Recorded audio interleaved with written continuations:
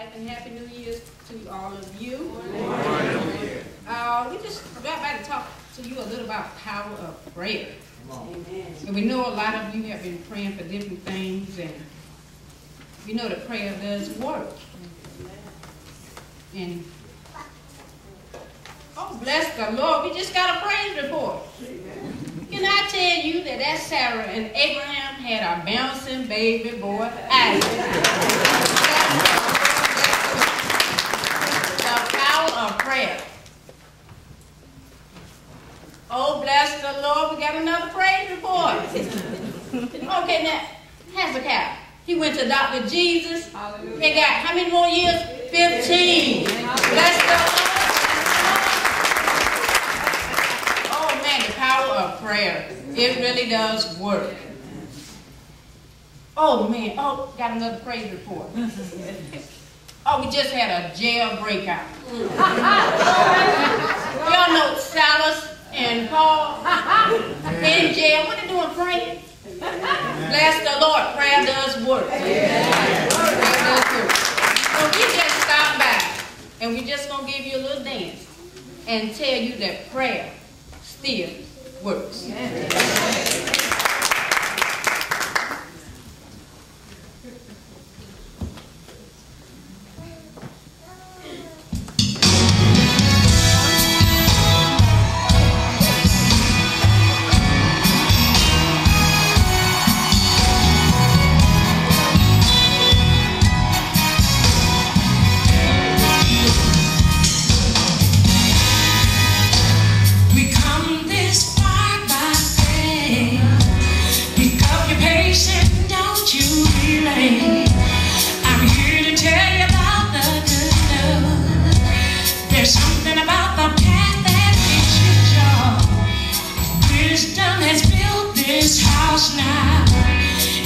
Will